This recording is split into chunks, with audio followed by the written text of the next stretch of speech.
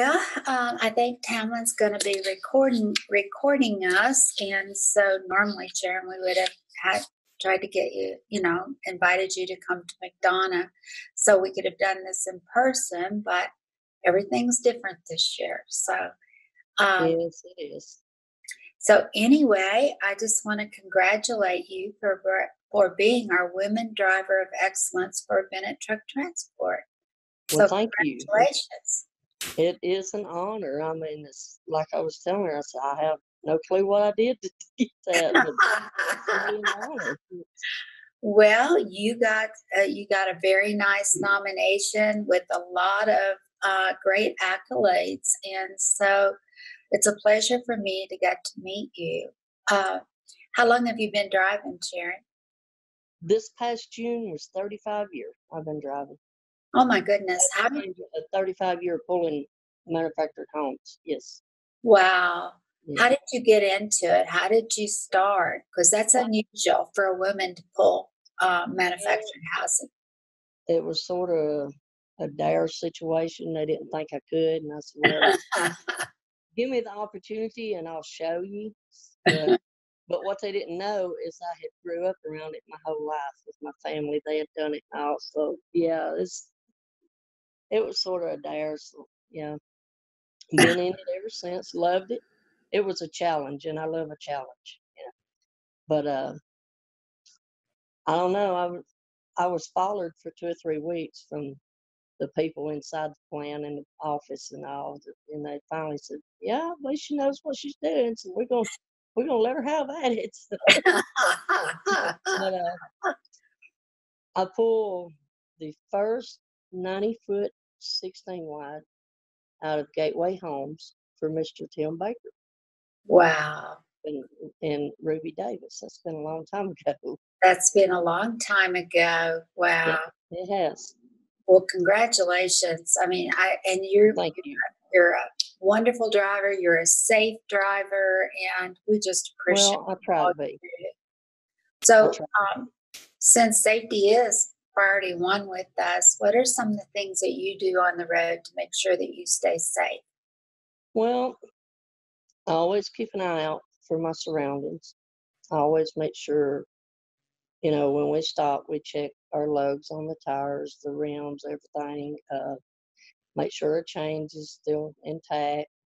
You know, safety is not just for me, but it's the people out there too that you're meeting. You know, so uh, I really I keep my speed under control. That's that's one of the safeties, and keep your eyes on your mirrors, and keep all your lights and stuff clean where people can see them really well. But honestly, the man upstairs is what keeps keeps me safe because I do not put my truck in gear. I don't care where I'm at. Every morning before I leave home to go to work, I asked him to watch over me and the people around me to get me back home safely. And so far, he's done a really good job. At it. He's done a really good job at it. So, um, So, Sharon, um, just ma'am. again, just want to congratulate you on being chosen as our Women of Excellence. I can certainly understand why you were chosen. And so, in accepting this award, is there anything that you would like to say or uh, in acceptance of it? Um, I would like to thank my boss lady, Miss Lisa Phillips, for having uh, a lot of faith and trust in me. Um, I would like to th- thank you and all the people at Bennett for giving me the opportunity to work for y'all. And I guess just for, you know, I mean, I'm overwhelmed. I, I really wasn't expecting nothing like this. I was just like, what? What? Well, I forget. I, maybe the lady that's on there with us called me. I said, what did I do to deserve that? I wasn't expecting it. I was, I said, I'm in shock. So I don't know what to say. So um, it is an honor. I will keep it next to my heart.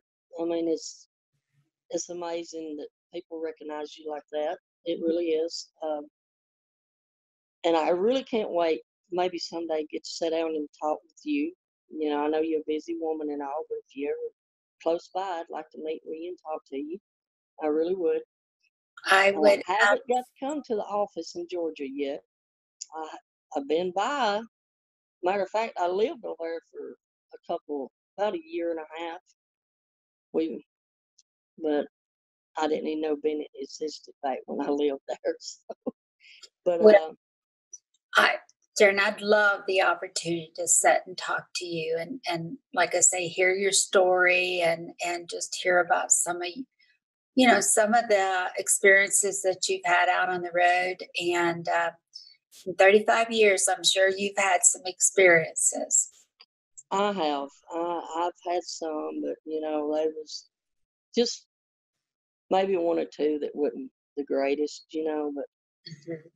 you you get up every morning and you say, I'm gonna do this.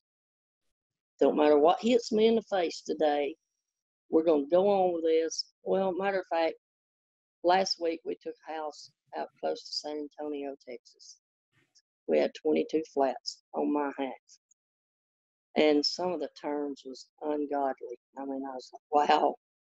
I get all the way there and I just chip off a little piece of the corner on the house. I, so I took a picture of it and I sent it to Lisa and she said, hey, if that's all you done out of nearly 900 miles and all them turns and flats, you, I wouldn't be worried about it. I said, yeah, but it just sort of sucks to get all the way out here.